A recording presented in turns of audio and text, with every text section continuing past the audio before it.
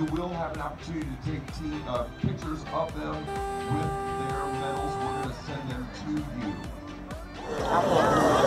Third place in the high school division is Fishers High School.